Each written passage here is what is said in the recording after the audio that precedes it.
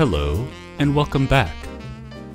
Today we are looking at The Sophtware Slump by Grandaddy, reissued by the Control Group as catalog number CGO073 in 2011 for this original 2000 release.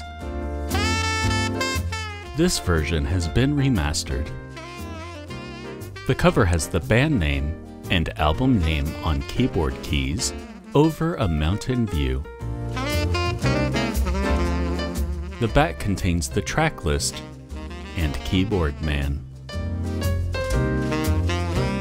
This release includes a printed inner sleeve with the lyrics on one side and the credits on the other.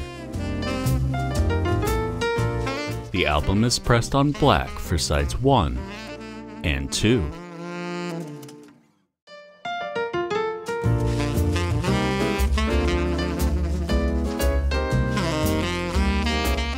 Goodbye